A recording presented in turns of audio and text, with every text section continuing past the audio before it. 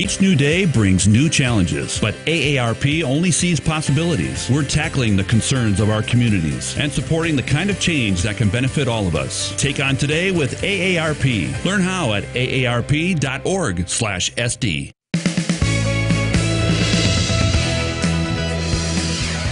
Are you waking up an instant millionaire this morning? We have results from last night's Mega Millions drawing, and we'll look ahead to tonight's Powerball drawing.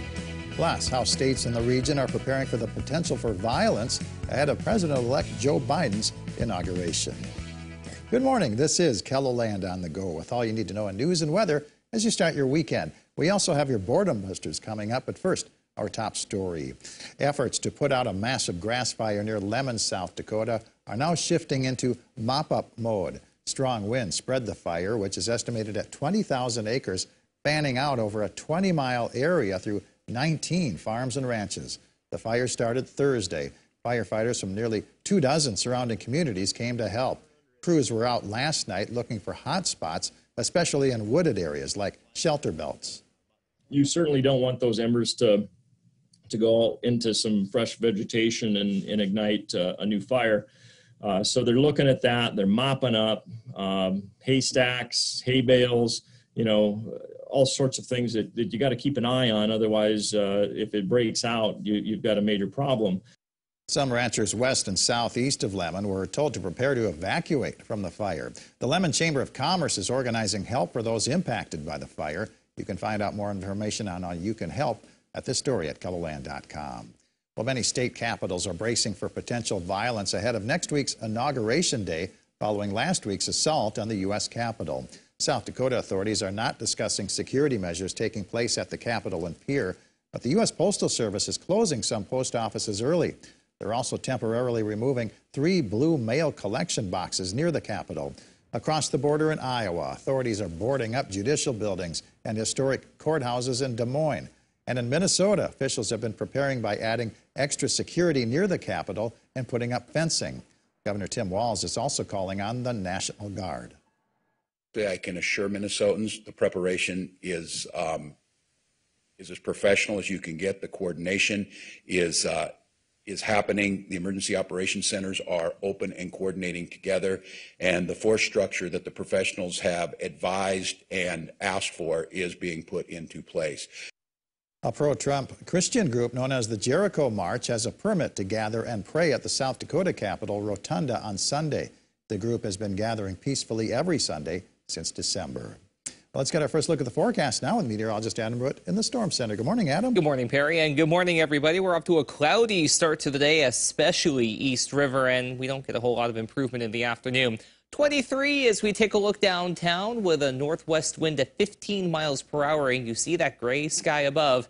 That's not going anywhere. So while, yes, we're already in the 20s, keep in mind our average low is 7 we're not going to see much improvement on the thermometer today. 20 at the Capital, 24 in Aberdeen, 38 though in Rapid City, 18 Valentine and Winner Chamberlain sitting at 21 along with Sisseton, 19 for Watertown as well as Ortonville in southwestern Minnesota. But you factor in that wind, and we have wind chills in the teens and single digits East River. Plan accordingly as you go about the start of your day. But out west, while yes, it is warmer, it's also windy. We still have that wind chill technically in the 20s and upper teens. There is the cloud cover, and it's not going anywhere today. A very gray afternoon on the way, especially East River, which will in turn keep temperatures very much in check. West River, though, a few bits of moisture try to make their presence known, but beyond that, they at least get in on a little more sunshine today. At least we don't have any organized moisture to talk about yet.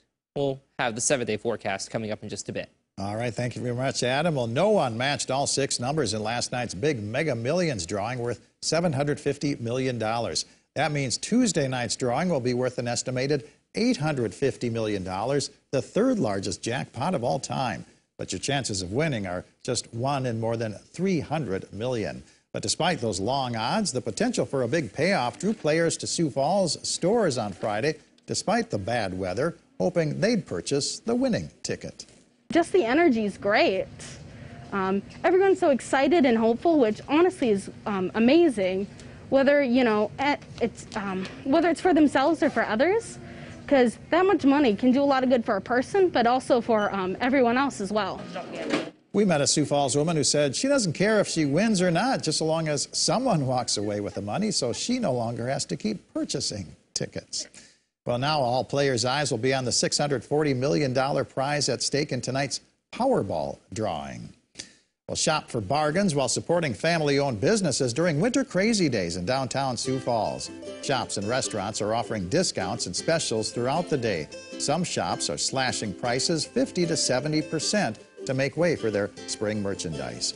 Saturday City is a craft and vendor show featuring vintage jewelry, homemade crafts, and sweet treats from 10 to 4 at Liberty Hall, the former VFW building on South Minnesota Avenue. Admission is free. The Sioux Falls Sports Card Show features new and vintage cards plus memorabilia for sale at the South Dakota Military Heritage Alliance building on West Russell Street. The hours are from 9 to 3. Admission is free. The Midco Aquatic Center is offering a New Year, New You Bingo Challenge. Throughout the month of January, swimmers can take part in fitness activities for a chance to win weekly bingo prizes. The cost is an active swim pass or a daily admission. Great Bear Ski Valley in Sioux Falls is back open for skiing, snowboarding, and tubing after being closed Thursday and Friday by the weather. Today's hours are from 9 a.m. to 9 p.m. The Winter Wonderland Holiday Light Display at Falls Park has been extended to run nightly through January 31st. The hours are from 5 to midnight. Adam? Overall, the day planner isn't terrible, but it does feature a lot of cloud cover for those of you along and east of the Missouri River. To the west, we do get in on a little more sunshine, which will in turn help that temperature kick up a little bit. So these 20s are generally in place for areas along and east of I 29. To the west, we'll get into the 40s. So a lot better in terms of uh, what we see on the thermometer. But that's what we have right now. Look at all that cloud cover along and east of the Missouri River with that little trough making its way through. A few little flurries trying to make their presence known, but little, if any, of that is actually making its way to the ground. So it's going to be a pretty quiet day today, at least on radar. However, it is going to be a little bit windy West River, East River not so much. So kind of a give and take there. You don't have the wind, but you have the cloud cover East River. You don't have the cloud cover, but you have the wind to the west. Take your pick. Either way, we stay dry as we head through the night and into the day on Sunday. But by Sunday evening, though, we have a little clipper that's going to move through, giving us a few rain and snow showers at first in western parts of KELOLAND, but then those snow chances migrate to the east as we go into the day on Monday. Now, we're not looking at too much in the way of snowfall, but at least an inch in several areas. This is the risk of at least an inch or more of snow. Not so much to the east, but you notice out in western parts of KELOLAND, this could at least be a disruptive system as you get ready to start the work and school week. So we'll keep an eye on this as we head through the weekend and even into the start of your next work and school week. So just keep that in the back of your mind. We are going to be watching that potential for at least a little bit of snow. We're also going to watch temperatures remain well above average for this time of year through Tuesday and into Wednesday. But watch what happens as we go toward the end of the week. A cold front moves through and cooler temperatures start to plunge down into KELOLAND by Friday going into Saturday. For the day today, however, we're near average along and east of I-29, but that's mainly due to the cloud cover. So 20s there, 30s a little west of that. West River, though, more sunshine, more wind, but you do get into the 40s. Overnight lows tonight in the upper teens to mid 20s under partly to mostly cloudy skies, especially East River, a little bit clearer to the west. And then we get in on a generally breezy day across the board on Sunday. 30s to the east, again 40s to the west, but low to mid 40s at that. Your seven day forecast does feature that chance for some snow Monday, even a few snow showers not out of the question on Tuesday. And while we peak on Wednesday with a high of 42, we cut that in half by the end of the work and school week. That's a look at your forecast. Have a great day, everybody. For more local news, weather, and sports information, you can always head on over to KELOLAND.com.